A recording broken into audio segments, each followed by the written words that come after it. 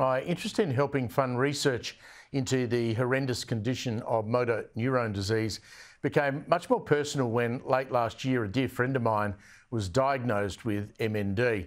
He's a fit, super smart Australian who had carved an amazing career for himself in business in Japan.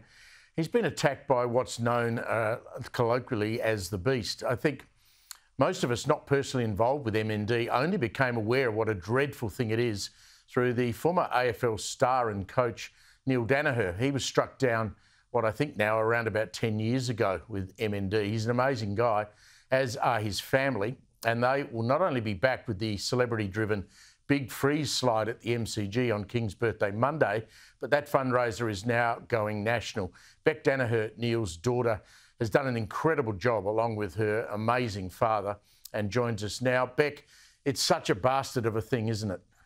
It is. And I wanted to say, firstly, I'm so sorry to hear about your friend being diagnosed. Um, we know that it's a beast, and that's the name that dad termed it a couple of years ago. And it truly is robbing people's ability to walk, to communicate, to talk, and then eventually breathe. Yeah, my friend's gone from, you know, being perfectly fit to struggling in six months. I was skiing with him in January. He can now, you know, struggles to walk. He's got no use of his arms. He's verbally struggling as well. I mean, it is just, it just happens so quickly. It does. Uh, Dad's had it for a lot longer. He's an outlier. The normal time frame is 27 months from diagnosis, so it can be so quick. I, I had a friend who um, unfortunately only lasted six weeks from diagnosis. So I feel very grateful that we've had so long with dad. We didn't think that that would be the case but just like your friend and and just like so many australians out there it hits and it hits quickly and it hits hard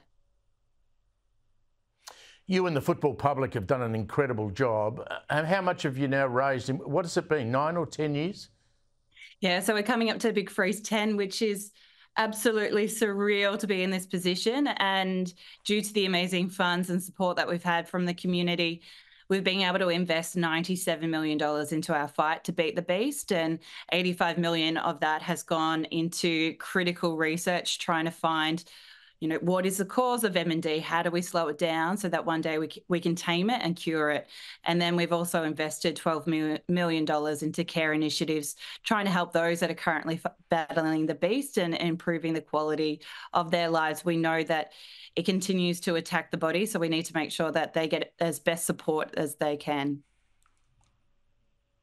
You've got your beanie on there. Uh, we can't uh, have this chat without uh, giving praise to big corporates around Australia. I bought my beanie about a month ago from Liquorland, uh, who are selling the beanies. I've seen them in bottle shops all around the country.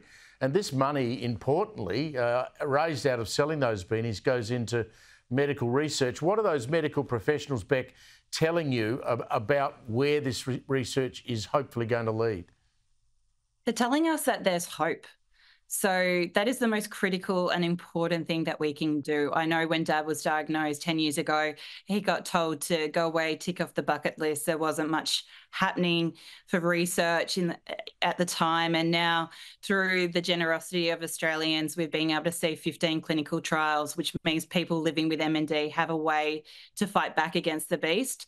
Further to that, 30 drug development programs. And we're also seeing a I call them a, an army of scientists, army of researchers who are coming to the forefront because it is exciting about what they are able to do.